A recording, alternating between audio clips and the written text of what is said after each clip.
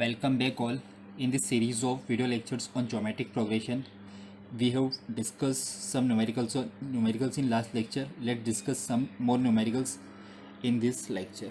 Question number 1 is given us the fourth, seventh and last term of GP are 10, 80 and 2560 respectively.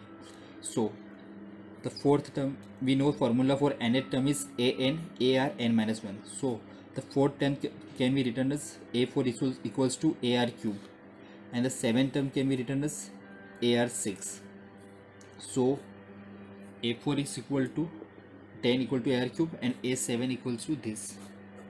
Let's divide them and check check what we can get.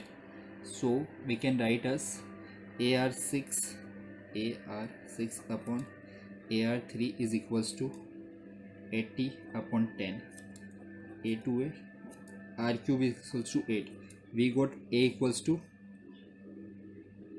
cube root of 8 which is 3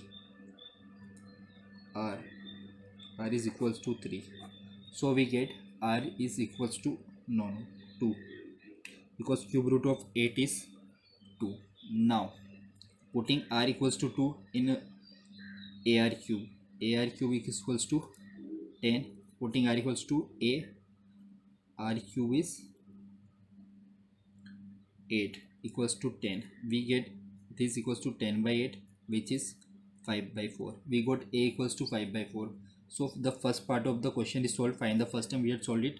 And now we have to find the number of terms in gp so we have last term as 2560 so 2560 a is equals to 5 by 4 r is equals to 2 and n minus 1 let's solve it. Uh, what we can do is uh, okay solve it. We can uh,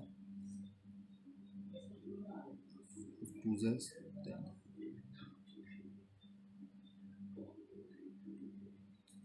we can write it as 2560 equals to 10 by 8 2 n minus 1 0 to 0 cancelled out. Now it is 256 is equals to 2 to the power n minus 4 this is 2 to the power 8 equals to 2 to the power n minus 4 n minus 4 equals to 8 n is equals to 12 so 2560 is 12th term of this gp let's solve second question this question question is if the fourth and ninth term of gp are given then find the gp okay?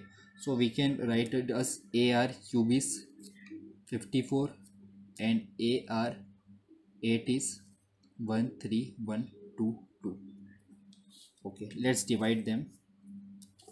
Ar 8 upon ar cube is 13122 upon 54 so we will get cancel out a r5 is equals to something around let's divide is 27 6 5 6 1 divide them by 3 9 2 1 8 7 divide them by 9 or 3 3 we get 7 2 9 then we get it as ones are 243 so r to the power 5 is 243 it can be written as 3 to the power 5 so r is equals to 3 we find out r. Let's put it here and get a. A 3 cube is 54 a is equals to 54 by 27 so a is equals to 2 now we know a first term and the common ratio. So we can write it as a. Second term will be equal to 2 into 3 6 6 into 3 18 18 into 3 54 and so on. So this question is also solved. Thank you very much